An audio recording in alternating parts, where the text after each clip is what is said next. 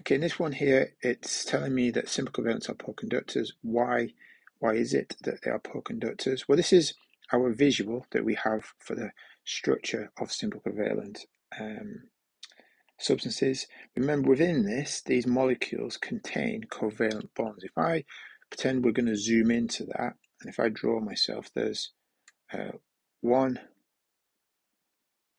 two, so there's my two oxygens that are in that molecule. If you remember, these use the electrons to form covalent bonds. That means they share electrons in order to become stable. Because of that, there are no spare electrons that are able to move, and therefore there's nothing to carry charge. There's no ions here, it has to be electrons, and the electrons are all being used in bonding, so are not free to move. So my answer needs to reflect that. So they're poor conductors. Why? Because the electrons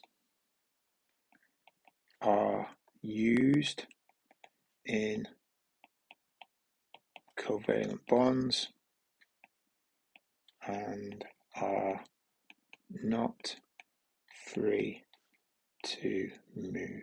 In order for it to conduct, they have to have electrons that can move or a charge that can move, and this structure doesn't have either of those two.